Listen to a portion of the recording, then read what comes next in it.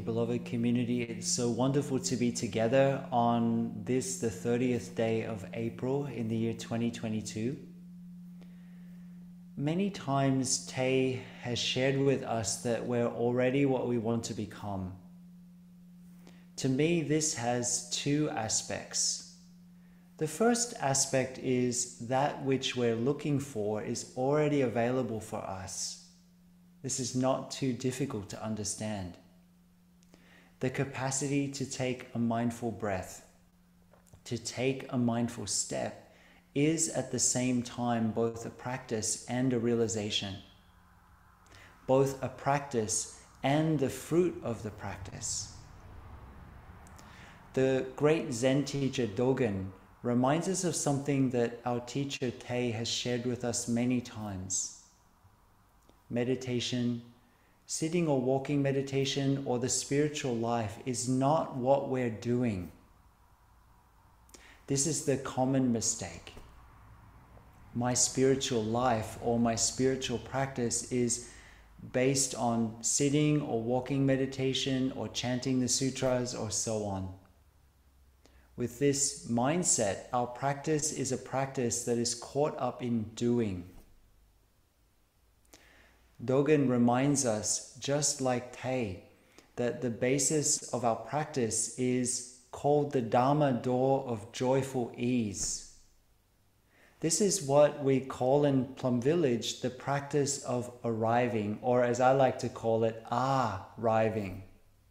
Since when you're finally home, you have that delicious feeling of ease, ah, ah, arriving. There are, in fact, statues of bodhisattvas called bodhisattvas in royal ease. And I like to think of royal ease as being different to the everyday kind of ease that we usually think of, which is when we think of perhaps disconnecting or switching off or withdrawing. That can be a kind of ease for sure. But royal ease here is the kind of ease that emerges when we're able to sit down right in the center of our lives and look clearly at how things have come to be without being pulled this way or that way.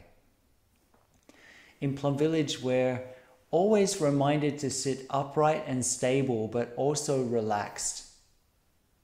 If someone sits motionless, frozen for 30 minutes or an hour, that's just clenching the body. Some of us clench our body, but many more of us clench our mind around ideas, around views, around positions, even around insights, or perhaps even sometimes around our meditation object. Left to themselves, our bodies are always making micro movements, micro adjustments. Our attention, our mind, and our heart also need to do the same. In some way, as meditation practitioners, we tune our attention to the situation at hand like we're tuning a musical instrument. The Buddha was such a wonderful teacher.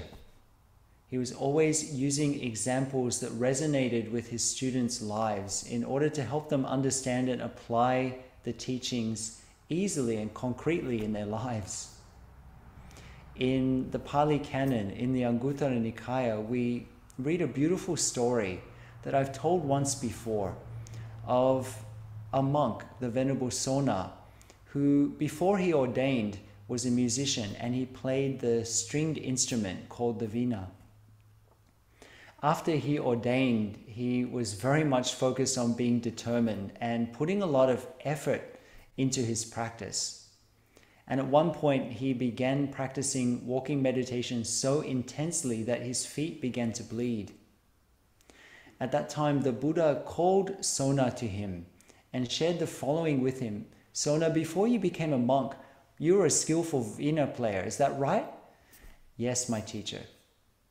And Sona, when the strings of your instrument were too tight or too loose, was your vina in tune and playable? No, it wasn't, my teacher. So it was only when the strings were neither too tight or too loose that your instrument was in tune and playable. Isn't that right? Yes, my teacher, that's correct, said Sona. And then the Buddha said, In the same way, Sona, if you put too much effort in, you'll become restless. If you're too slack in your effort, then you'll be lazy. Therefore, you should constantly determine the right pitch for your persistence. Attune the pitch of your five faculties to, to that, and from there, pick up your theme. As the Buddha shared, as practitioners, we tune our attentiveness to the situation at hand. Upright and stable here refers not only to the posture, but also having a sense of intentionality around our practice. In a 13th century text by a Zen master, Keizan Jokin, there's a line Don't be concerned about how well or how badly you think you're doing. Just understand that time is as precious as if you were extinguishing a fire in your hair. I love that little uh, uh, paragraph so much because there's a couple of examples in this vivid imagery. First, don't be concerned with how well or how badly you think you're doing. We're often so caught up in comparing and evaluating. In Plum Village, we have the phrase happiness is knowing that you're on the right path. We touch our deepest aspiration and set ourselves in that direction, and then we allow the Dharma to do its work. Since the Dharma has as one of its innate qualities the capacity to lead us onwards. But how do we not be concerned or so concerned with how well or how badly we think we're doing. We decide not to be concerned with it, to let it go.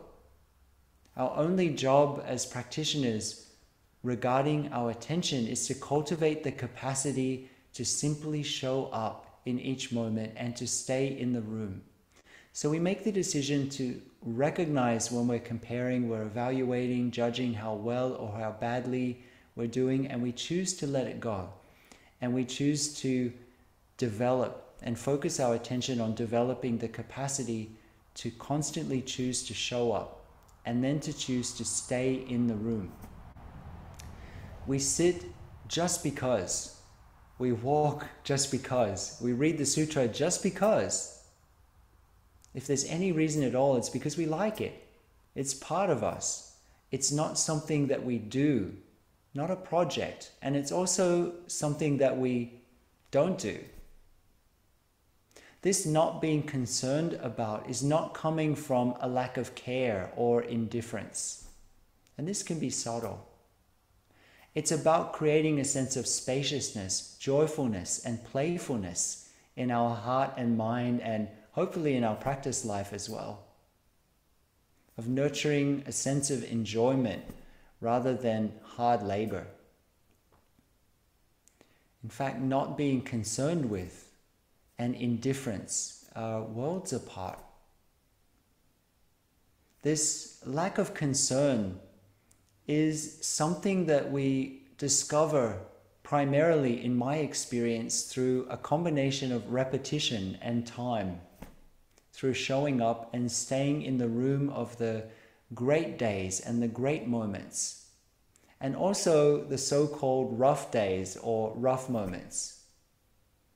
If we do something every single day for an extended period of time, it stops feeling like a big deal. We begin to see that a challenging practice or a challenging day isn't such a big deal. We begin to notice also that a so called great or fantastic practice also doesn't mean that much. We have our highs and our lows, but through it all, the constant thread is showing up regardless. This is what lack of concern in meditation practice looks like. Whatever we do is as natural for us as breathing we approach our practice in as natural a way as breathing. Speaking of breathing, let's enjoy a sound of the bell.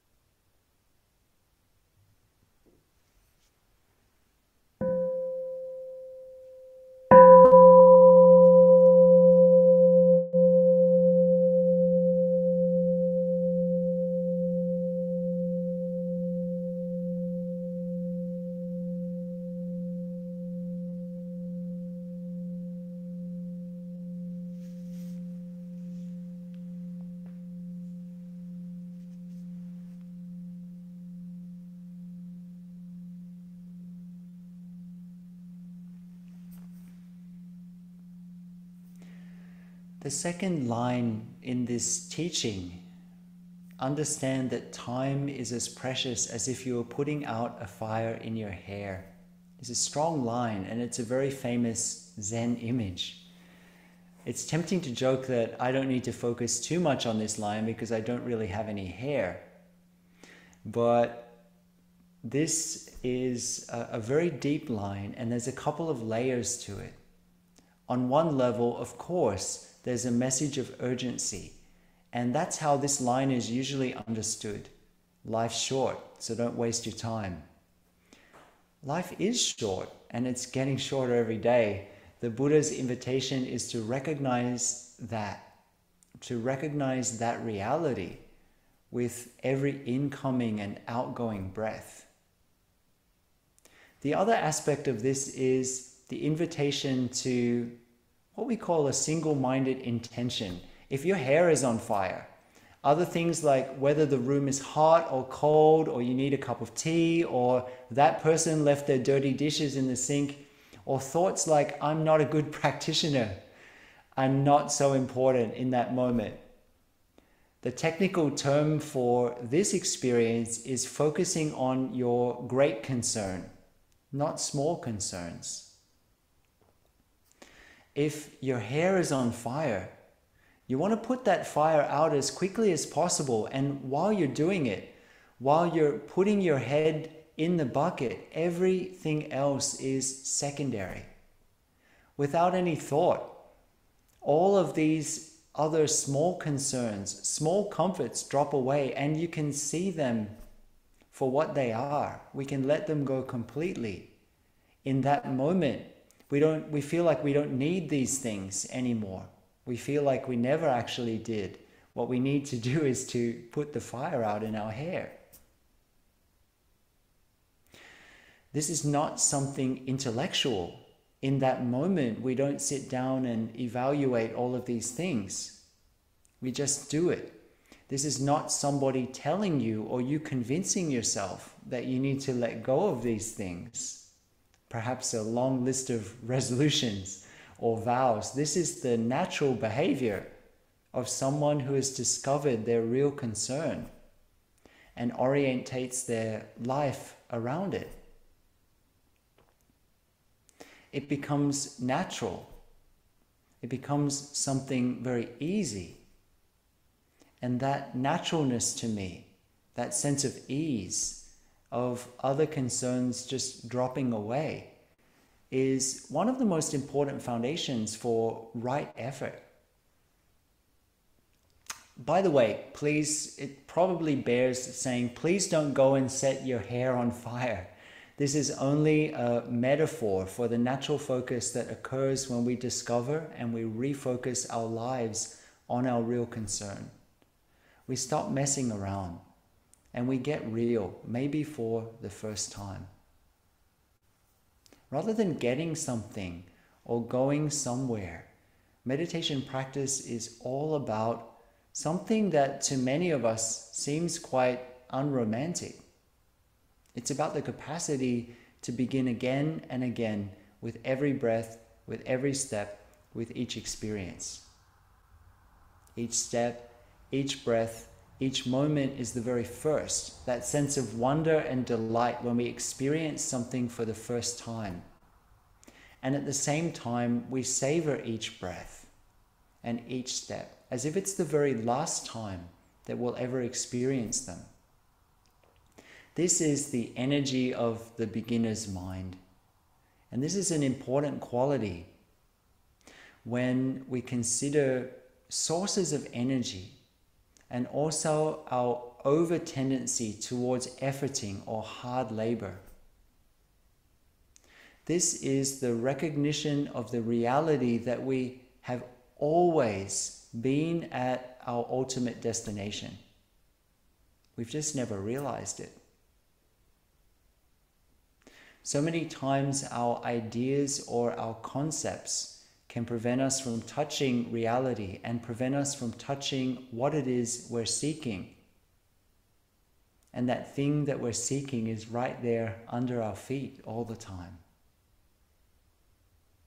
One of the biggest challenges to me that I think that we face in our time is the capacity of being able to focus our minds on our own experience, our embodied experience. And so we often mistake the accumulation of knowledge for insight. And if we're honest, we tend to bring this attitude to our Dharma practice as well, thinking that if we accumulate one more retreat or one more set of teachings, then we'll finally get there wherever there might be for us in that moment.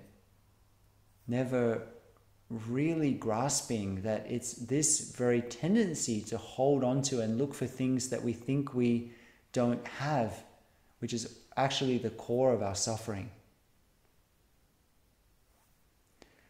The phrase that you are already what you want to become, which we hear in Plum Village, and which I began this talk with this evening, also to me has a second layer, which is equally important to understand, particularly in terms of right effort and also in terms of the fourth realization of the eight realizations in general. That is that all our actions of body, speech, and mind have brought us to this moment right now. Last year, I received an email from a practitioner. I receive a lot of emails and, and messages, and this one's kind of stuck in my mind. that practitioner recommended to me that I not use the word powerful. It annoyed that practitioner when I used the word powerful in Dharma talks, which is probably a Dharma talk in and of itself. Um, so I'd like to apologize to that practitioner if that person is um, is listening to this talk. But I, in this moment, I feel that I need to use that word since the realization that all of our actions of body, speech, and mind, the fact that they've brought us to this moment, to me, that's a powerful realization. It's an empowering realization. In fact, it's the very realization that the Buddha woke up to under the Bodhi tree. What the Buddha woke up to under the Bodhi tree in his awakening experience was what we call dependent origination or interdependent co arising. This is because that is. This is not because that is not. Everything arises due to causes and conditions and nothing arises in and of itself. The understanding that everything, whether it's a flower, a tree, our anger, our happiness, needs different factors to arise, to remain, and then to pass away or to transform into something else. Often we can have a somewhat simplistic view Using the metaphor of seed and flower, for example, we think of the seed as the first cause. And maybe we think of the plant or the flower as the end result. However, who's to say that the blooming of the flower is the end result? The flower is an ongoing process Just as causes and conditions gave rise to the blooming of the flower, causes and conditions continue to manifest forever into the future. Just as they've been arising also from beginningless time. The flower's withering gives rise to further conditions and causes and manifestations. It's actually an endless process. This is, of course, looking forward. And looking backwards, what's the first cause of the flower? Is it the seed? The seed is not the first cause because the seed also existed in various forms before it came all those causes and conditions came together in the form of the seed the seed is the result of a whole stream of causes and conditions from beginningless time that have come together in a particular form for a certain period of time with a few more conditions water soil rain sunlight and so on it can continue its process in a certain form, let's say the plant or the flower, with other conditions. If, for example, the seed is there, um, but the conditions are not sufficient for a plant or a flower to manifest as one would expect, it will continue its growth of causes and conditions in a slightly different form, in another direction. we can reflect on interdependent co arising in the forward direction. This will give rise to that, and so on. And also in the reverse direction, gradually coming to an understanding of how something, whether it's a flower, whether it's a situation, whether it's an emotion, and so on, has come to be. Dependent origination is one of the deepest and most profound insights in Buddhism. It is powerful. Let's enjoy a sound of the bell.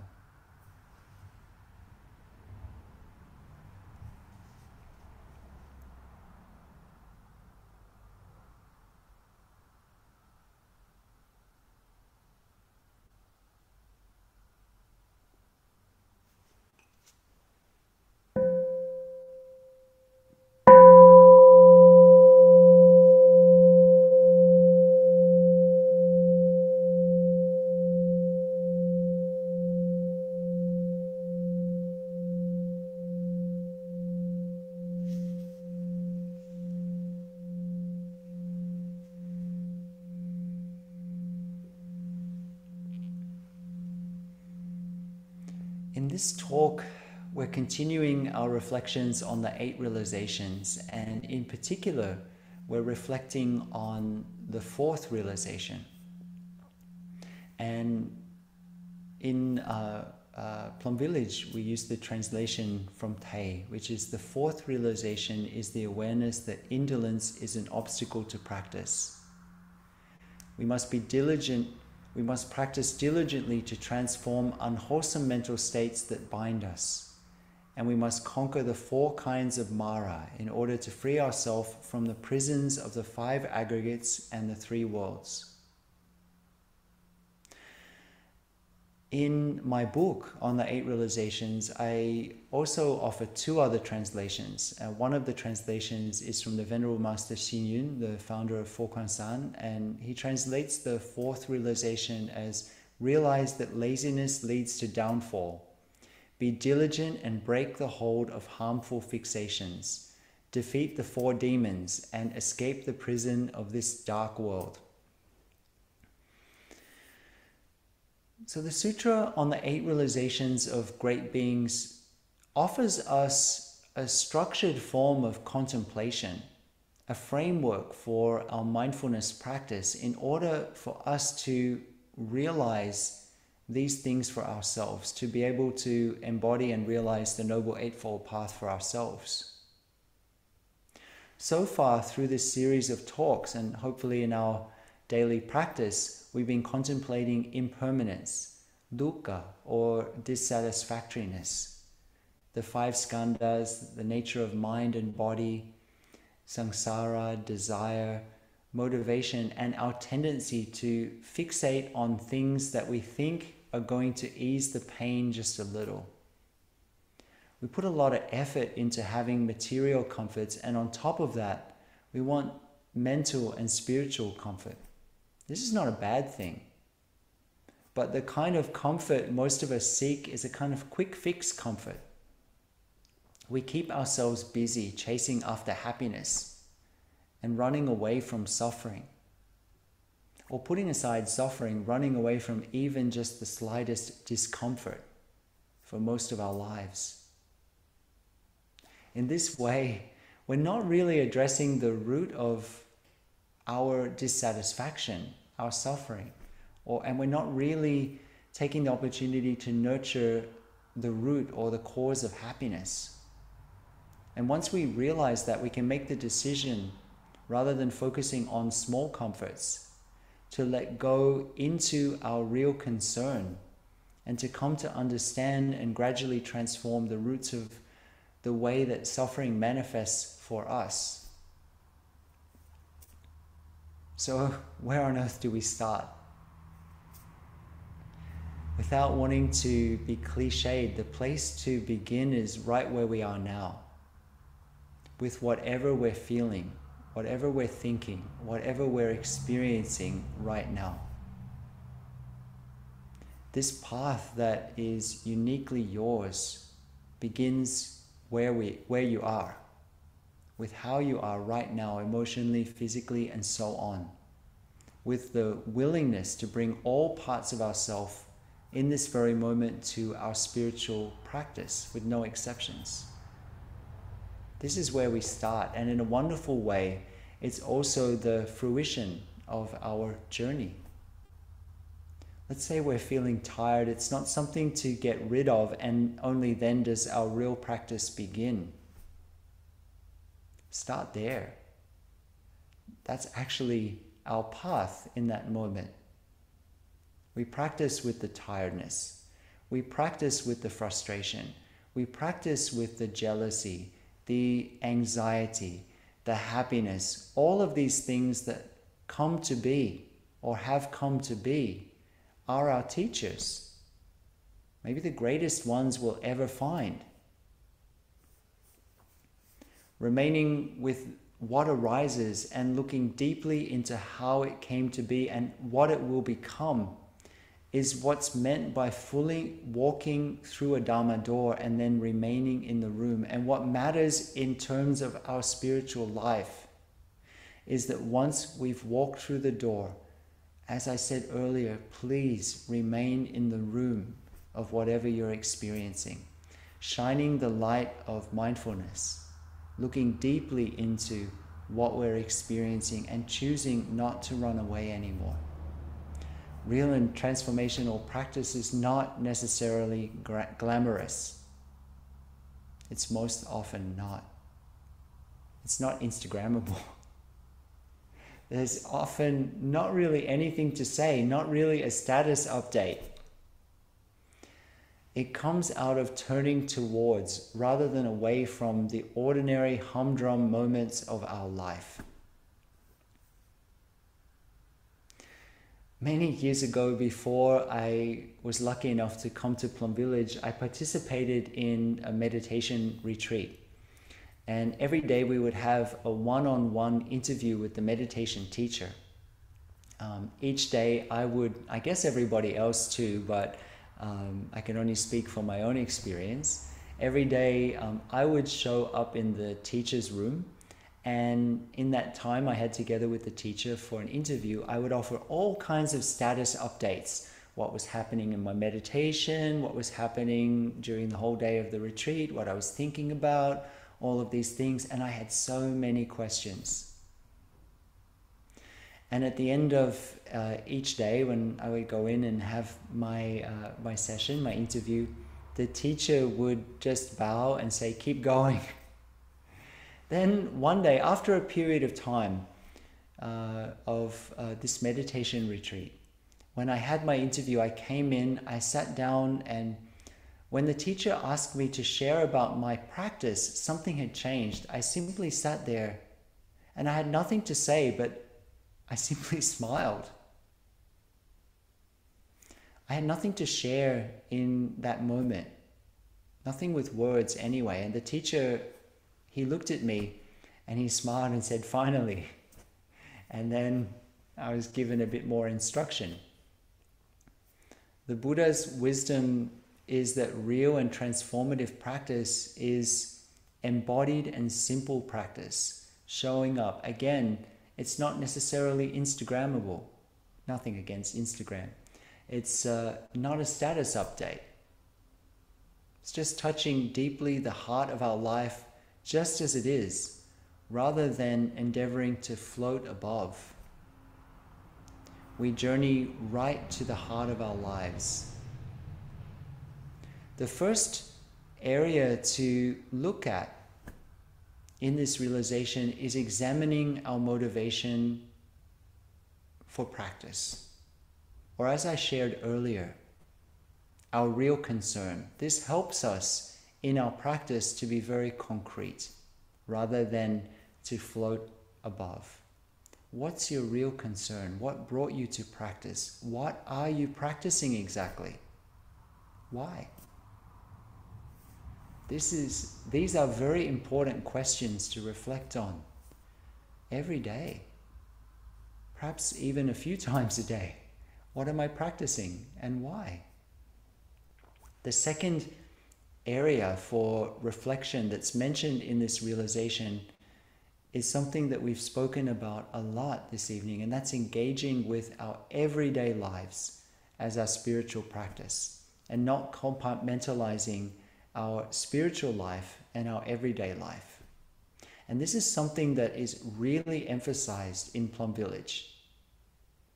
Sometimes people uh, ask why Plum Village monastics in our um, uh, retreats, like the summer retreat and so on, we don't sit for many hours a day.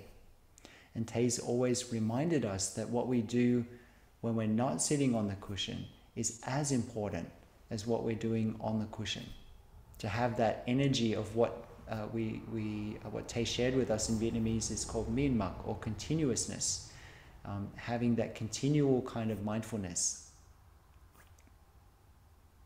And one of the key reflections in this realization is laziness. Within the context of this realization, this is laziness manifesting as a lack of energy and motivation, a kind of dullness. And that's definitely a big obstacle to our spiritual practice.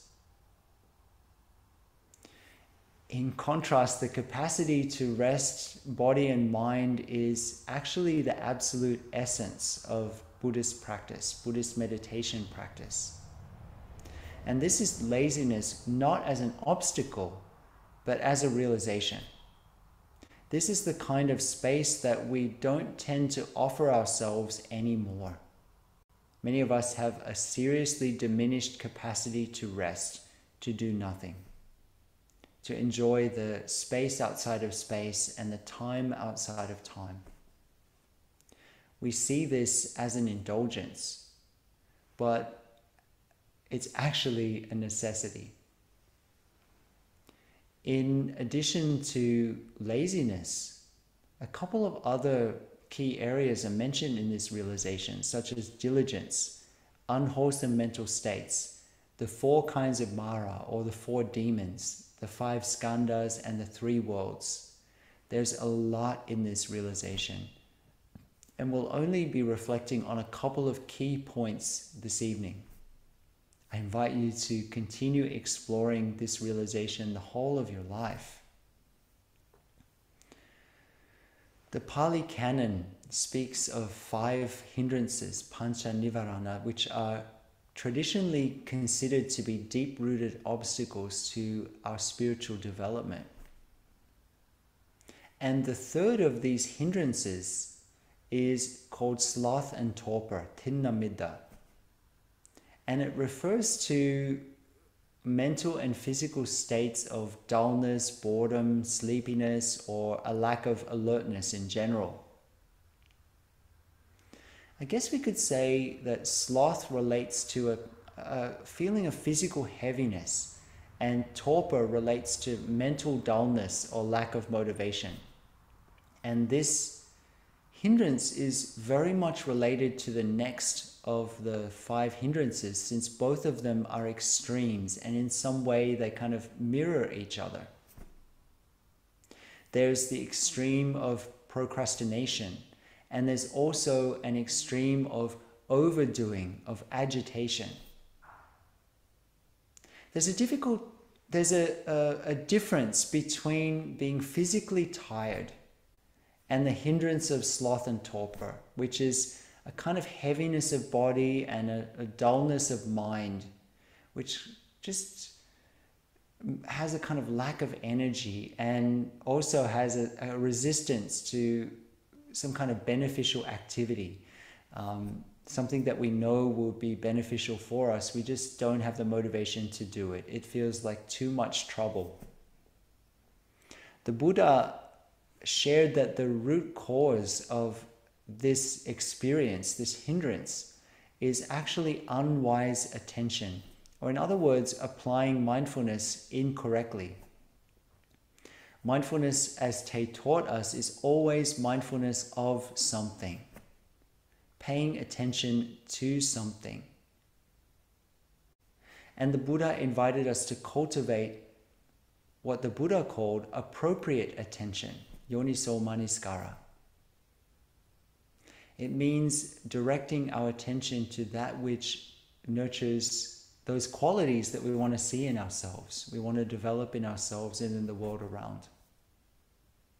Here, with regard to this hindrance of sloth and torpor, the Buddha shared with us that the root cause is us paying attention to, uh, to things that don't nurture these beneficial qualities. The hindrance of sloth and torpor is described as being similar to being imprisoned in a cramped, dark cell, being unable to move freely in the bright sunshine outside.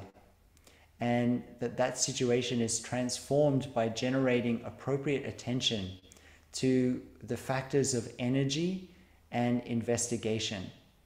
I like to translate uh, uh, vichaya as curiosity rather than investigation. Investigation sounds a, a little too analytical, but curiosity uh, is something that is quite easy to understand and also easy to develop.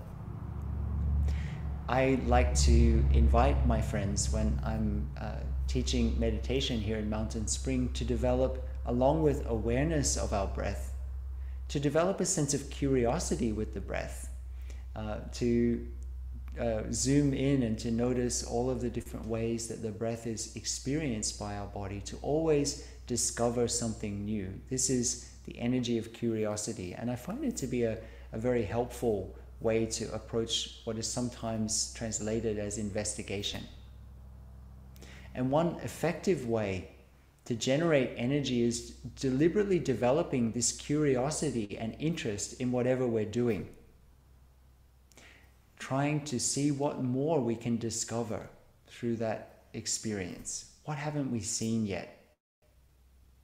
Something that seemed quite ordinary, if we develop that sense of curiosity about it, becomes really fascinating, becomes interesting. Sloth and torpor can be quite subtle and can manifest in really strong ways, but also very subtle ways, such as just wanting to be comfortable and not being willing to challenge ourselves to grow or to develop, to get out of our comfort zones. Laziness or indolence appear in two translations of this realization. And I think laziness is something that we can relate to a little more than indolence. And in the context of this realization, as I shared earlier, laziness refers to that dullness and lack of motivation and not to the capacity to rest, which is essential. Speaking of rest, let's enjoy coming back to our breathing and enjoying the sound of the bell.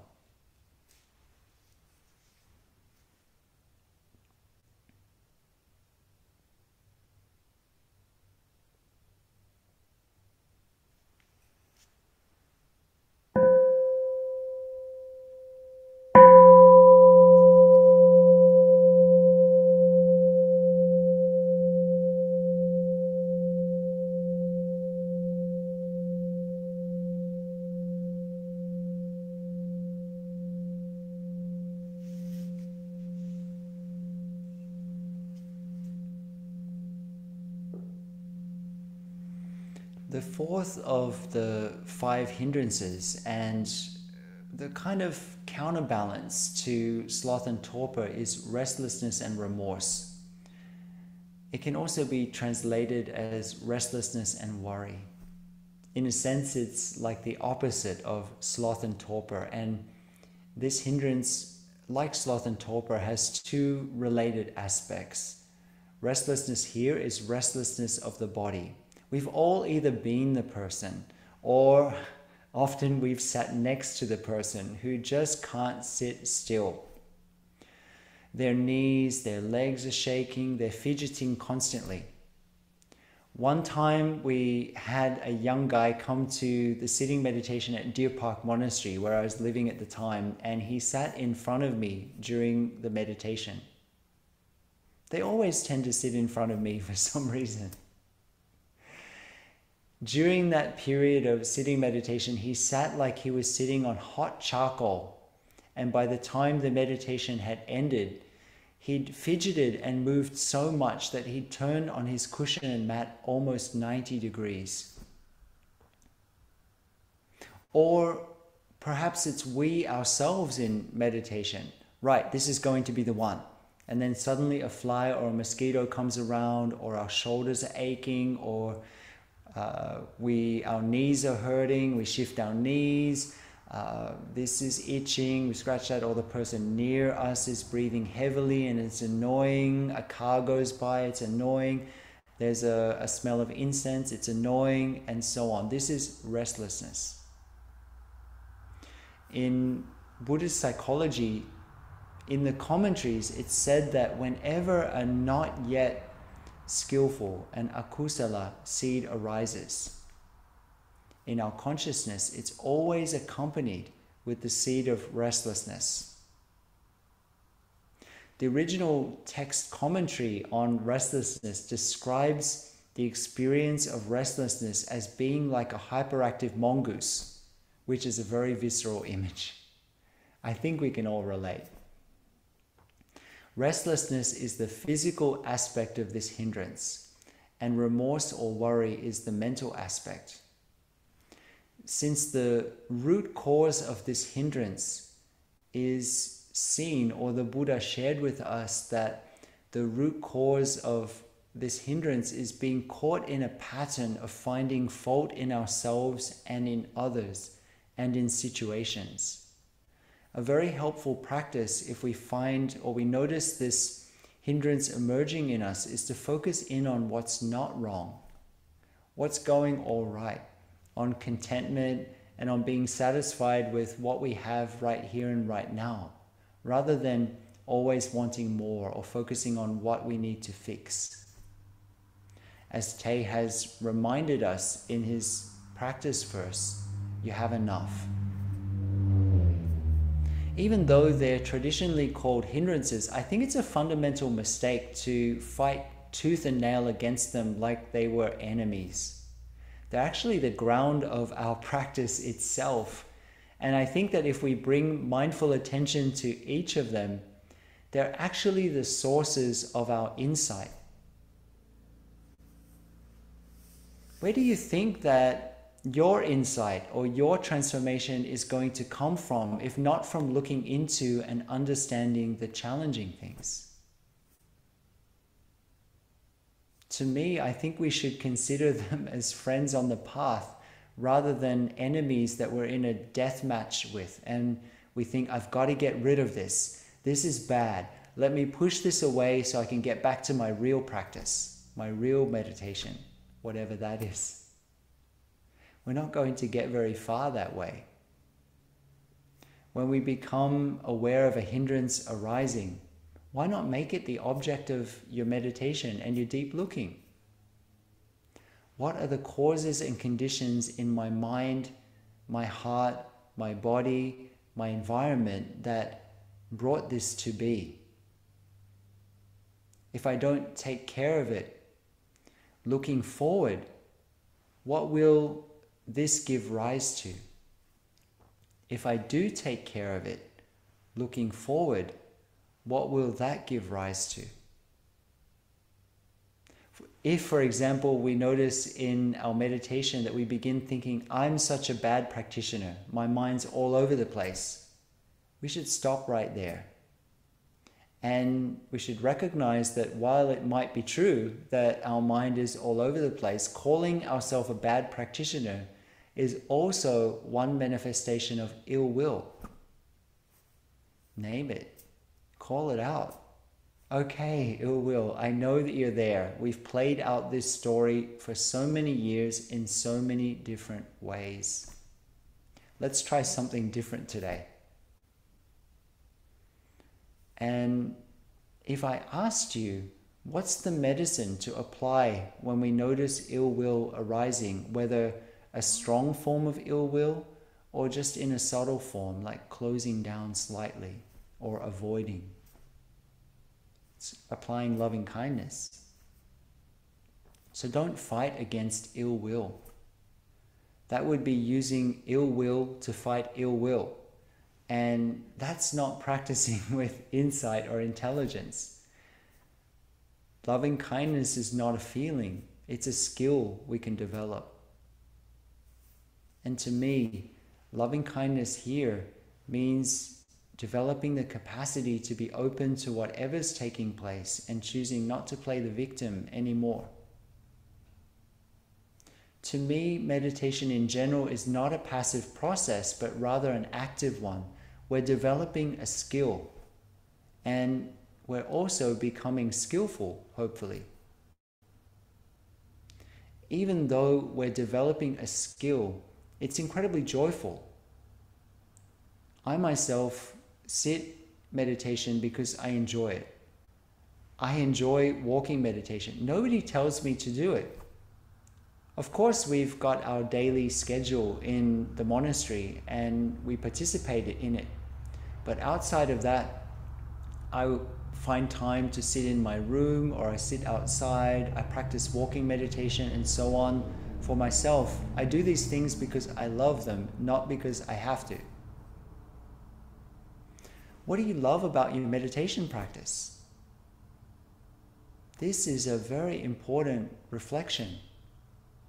I hesitate to say powerful, but it is also powerful. What do you love about your meditation practice? If you love it, it's so easy to do it. When we enjoy something, it becomes natural to want to devote ourselves to it, whatever it is, and it naturally gives rise to this quality that we call effort. If it's something that you love, if it's something that you've set your heart upon, as in the example of how our real concerns are clarified if our metaphorical hair is on fire, it becomes so natural to devote yourself to it. Hopefully, the thing that you choose to devote yourself to will be somewhat skillful. If we nurture our enjoyment, then naturally, in and of itself, something called right effort or the four right efforts, which are mentioned in this realization, emerge. Right effort is one of the aspects of the Noble Eightfold Path. And please notice that this is right effort and not just effort in the sense of flailing around. Many of us are habituated to striving or efforting in our daily lives, and effort in Buddhist practice is quite different. It's focused intentionality in all its forms to our great concern, our real concern which for many of us is our spiritual transformation, our healing. The four right efforts are a concrete framework to cultivate intentionality around what we want to manifest in our heart, mind, and life. I guess you could say that this is the Buddhist version of the secret. Um, this is the Buddhist version of manifesting the four right efforts. The first aspect of the four right efforts is where we dedicate ourselves to not nurturing unskillful qualities that have not yet arisen in ourselves and in others. How do we know if a thought, a word, or an action is skillful or unskillful? One way to reflect on this is to consider whether it's in line with our deepest aspiration, our deepest concern. Does it lead to more inner or outer freedom, to more simplicity, more insight? Does it nurture peace, understanding, or joy? Or does it lead to further entanglements? If we reflect in this way and we're dedicated to our own inner transformation, then rather being a struggle over time, it becomes quite easy to consciously choose not to engage with watering unskillful qualities in ourselves and in others that haven't yet manifested, that are lying dormant in our store consciousness in seed form. What do we really want to see in our mind and in our lives?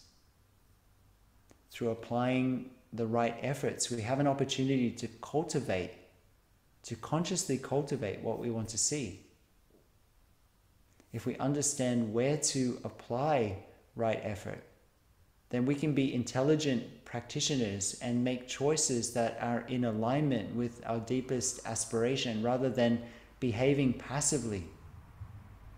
With that insight, then we don't need anybody else to tell us what we need to do or not do. We know it for ourselves. The second of the four right efforts is practicing to transform unskillful qualities that have already manifested. Let's imagine that we're experiencing anger and frustration. Right effort here is to kindly and lovingly recognize what's happening, to take care of it, to ask ourselves if we want to see more anger and frustration in our life, or if we wish to nurture different qualities.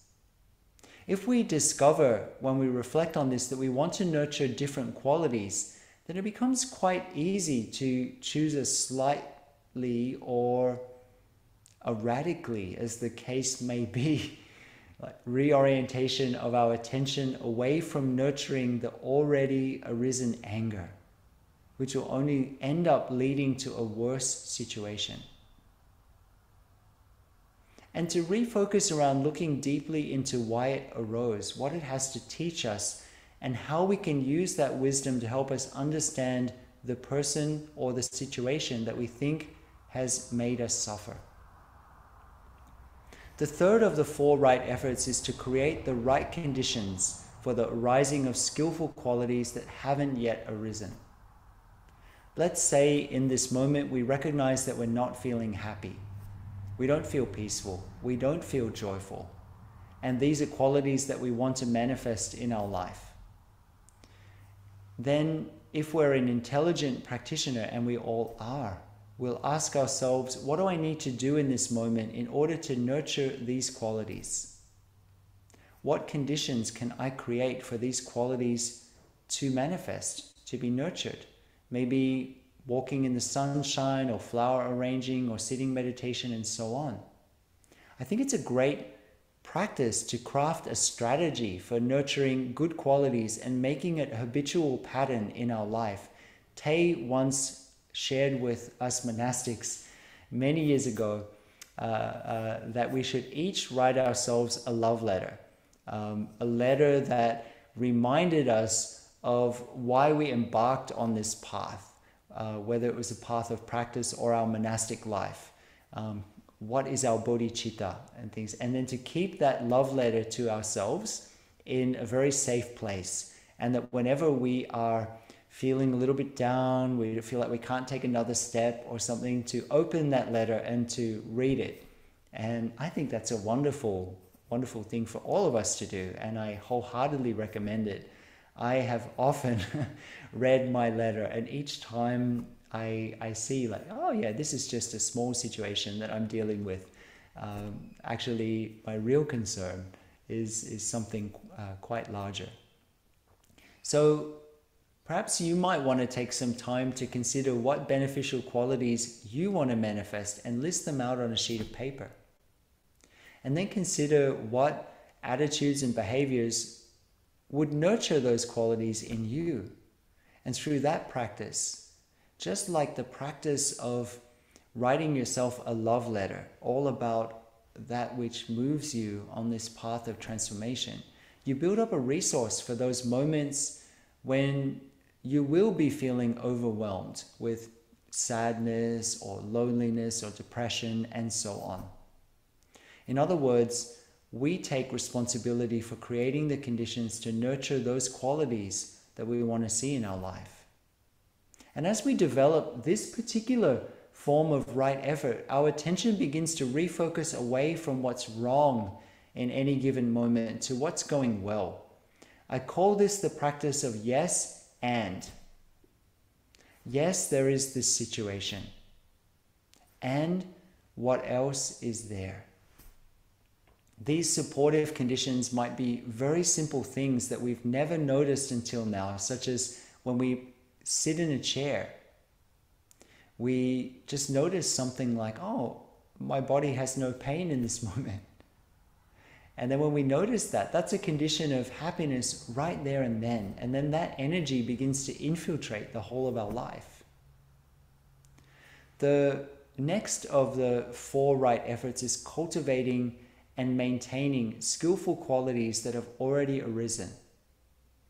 If you have a quality that you want to consciously nurture, you treat it like a guest in your home, a wonderful friend that you wish would stay forever. And it's natural if you have such a friend visiting you that you want to do everything in your power to have them remain with you for just a little bit longer. If we understand what nurtures happiness, or joy or insight, for example, and we want to maintain those qualities in our consciousness and in our life, then we continue to engage in attentively nurturing those qualities. So, if we were to summarize, right effort is all around consciously choosing which qualities to nurture and not nurture in our hearts and in our lives. And this is really the great freedom and indeed the great power that we have as humans the capacity to choose where to direct our attention. One key phrase that occurs in the fourth realization is unwholesome mental formations that bind us.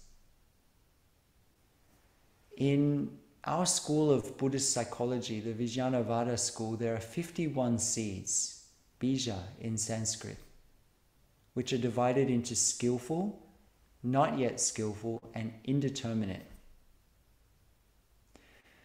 Seeds or bija in Sanskrit, in simple terms, are emotions or mental formations that haven't yet arisen. Just like in the garden, a plant exists in seed form. And when there are enough conditions, warmth, water, the soil, and so forth, the seed sprouts the seeds in our consciousness are consciously are, are constantly being stimulated by sights, by sounds, by uh, physical objects that we come into contact with, sensations, and so on. Over the course of our lifetime, certain seeds have been habitually stimulated for each one of us, more often than others, and these seeds will tend to arise more readily since we've developed the habit of stimulating those seeds. It's important to understand that there's an individual aspect to this, but there's also a collective aspect that might be beneficial for us to consider. For example, our family, our nation, and so on might also have seeds that are habitually stimulated, certain collective habitual patterns of path or, or pathways of joy and of suffering. This is not good or bad. It's just something to recognize whichever seeds are consciously and continuously being stimulated will be closer to the surface. It can be a very helpful practice to check in with ourselves every time we practice stopping and to consider what's arising in our consciousness at that moment. And what's the shade of feeling that we're experiencing? I think I've told the story before of how my grandmother always used to keep a kind of soap. I don't know if it's available in other countries. It's called Cashmere Bouquet. And she always liked the lavender fragrance of that soap. I don't even know if they sell it anymore. I don't really linger around the soap aisle in the supermarket. But she used to put a bar of this soap um, in all of her clothing drawers and also when I was living with her in my clothing drawers as well. So I also smelled like cashmere bouquet. Now, whenever I smell lavender, I think of my grandmother and I have all of the associations, both positive and yet to become positive, that arise together with the image of my grandmother. We all have these associations. And in fact, most of the time in our daily life, it's these conscious and unconscious associations that shape much of what we call reality. Everything that arises has associations that arise along with it, either because of family history, genetics, um, uh, experiences that we've had over the course of our lifetime, and so on. Certain seeds have been stimulated more often and each time a stimulus occurs, a sound, a smell, a taste, and so on, a seed is touched and it arises into mind consciousness, into conscious awareness, whether for a brief moment or for a longer period of time. And at that point, we call that a mental formation. The seed that sprouted, we call a mental formation. Although, if we grasp interdependent co arising a little bit, then we could also call a plant, uh, if we use the imagery, the metaphor of the seeds in our consciousness and the sprouting of a seed being a mental formation, we could call a plant a seed for two reasons. The first is that the plant is the seed in a different form. But it's also the plant, it's, it's also the fact that the plant itself is a seed for a future manifestation or for future manifestations, for causes and conditions that will continue to arise for, in the forward direction. In terms of our mind, a seed and a mental formation are not the same exactly. But it bears mentioning that according to the insight of the Buddha, they're also not different. And so mental formation is the technical term for an emotion or a thought. A seed is stimulated and it arises and remains for a period of time, a split second or 25 years or longer in some cases. Seeds are stimulated, they arise, they remain for a period of time. And then, depending on whether they're given conditions to remain or not, they eventually seek down to store consciousness. This cycle is constantly going on in every moment. And as meditation practitioners, we consciously choose to stimulate the seed of mindfulness or appropriate attention, creating conditions for mindfulness to be a habitual response, and then for this quality to remain on the conscious level for as long as possible. Let's enjoy a sound of the bell.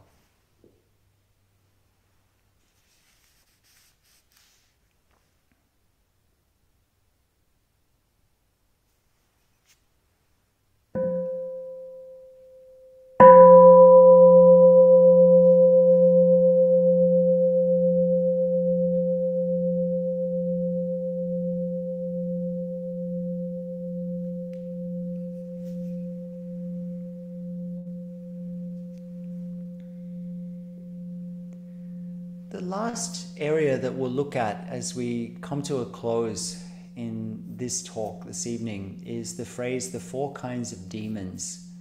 And this phrase might be a little unusual for many of us. When we think of compassion or loving kindness, we tend to think in terms of a celestial bodhisattva such as Avalokitesvara or so on, floating down on a cloud and sprinkling nectar everywhere. Flower petals dropping from the sky and all of this kind of imagery. This is, of course, one aspect of loving kindness and compassion. However, there's another face of compassion as well, and sometimes that face can be fierce and protective. The traditional term for this fierce aspect of compassion is called Dharma protection. In fact, in the Metta Sutta, one of the foundational sutras, we find a key line just as a mother loves and protects her only child at the risk of her own life. Have you ever seen how fierce a mother can be when her child is threatened? Compassion or loving kindness is not passivity. It contains two aspects loving and protecting, responding in a way that's appropriate to the situation. Buddhism is very practical. When we hear the phrase the four kinds of demons or four kinds of Mara, we might have a tendency to think of demons or spirits that are wandering around everywhere. The word Mara actually means illusion. And if we find that relating to these four demons as four illusions is a helpful and concrete way to approach them, then that's great. Earlier, I mentioned that in our particular lineage of Buddhism, we come from the mind only school. In this school of Buddhism, the mind doesn't exist independently of what we call the world. The outside doesn't exist independently of what we call mind. The two are interrelated. It's not something outside of our own mind that keeps us trapped in suffering but rather, as it says in this realization, it's the unwholesome mental factors that bind us. So, the first of the four demons or the four maras mentioned in this realization is unwholesome mental factors. And so, earlier we mentioned developing the awareness of mental factors within us that don't nurture what we'd like to see in ourselves or in the world. And that the foundation for this awareness is understanding that our deep understanding our deep aspiration or our real concern and aligning our lives fully with it. And this requires a certain amount of discernment also Later, I'd really like to share more about this quality of discernment because I feel it's an essential quality for a meditator, but we'll save that for another time. The second of the four demons is identifying ourselves with the five skandhas, with form, with feeling, with perception, with mental formation and consciousness. Many of us identify ourselves quite strongly with our body, for example, and with crow's feet appear around our eyes or we begin to see gray hair, we kind of have an existential crisis. And there are whole industries built up around this idea that aging is wrong. Just a shot of Botox and everything is going to be okay. As I get older, I often joke that people around me greet me differently. They used to ask me, How are you? Now they ask me, Are you okay? In Mountain Spring, in our brother's hamlet, we have a custom of greeting and checking in with each other every morning after sitting meditation.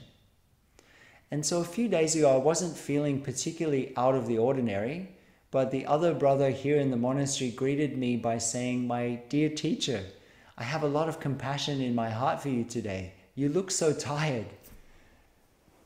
Life keeps us humble. So we can get rid of the crow's feet maybe, but then something else related to old age will arise, maybe arthritis or so on. So please contemplate deeply. In what way is this body, which in this very moment is changing and disintegrating, really me? And then we continue, once we've come to an understanding a, an embodied understanding of this process in our body. We continue the contemplation with the other skandhas, like feelings, painful, pleasant, and mixed, perceptions, our mental formations, and the seeds in our consciousness. Are any of these permanent? Which one is you? And also, out of those five areas, those five skandhas, which one do you find yourself identifying with more strongly moment to moment? This can be a very helpful practice when we notice a strong emotion arising. To identify ourselves with form, with feeling, with perception, with mental formations, or with consciousness is a form of illusion since all of these are impermanent. They're in a constant state of change.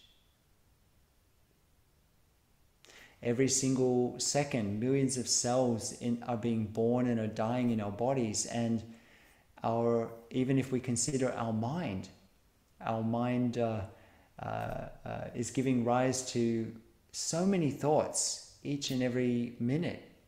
If you've ever watched your thoughts during meditation, you'll notice that one thought will lead to another and to another and to another very quickly. The third of the four demons is death or annihilation. Death or annihilation is the big one. For many of us, it can be also the most scary. We have a concept of a lifespan, whether it's a physical lifespan or the lifespan of an experience or an idea. We think it began at some point and we think it's going to end at some point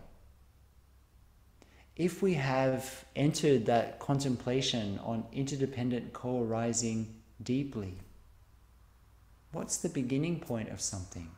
And when does something end? And is it only one thing? Or is it so many causes and conditions that have come together for a certain period of time? And that will then uh, move on into many different manifestations in many different directions. This is how we can understand this, uh, this demon. And understanding these demons are really important since they're very practical ways for us to be able to see where our mind is fixated. Finally, the fourth of the four demons or maras is distraction. Distraction here needs to be considered on the micro level, but also the macro level. It is the moment by moment lapses in attentiveness that we experience, but it can also be losing sight of our real concern our deepest aspiration.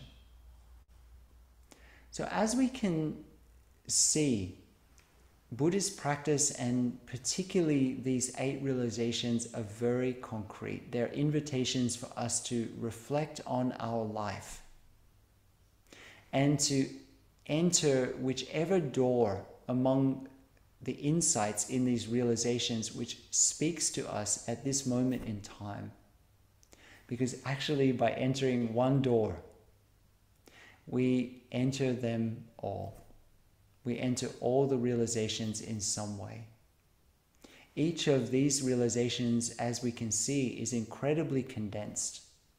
And they're each just a starting point, an invitation for us to be able to contemplate these realities in our lives. So for me, I hope that you continue your own reflections and explorations the whole of your life, touching on ever deeper levels the riches that are contained in each one.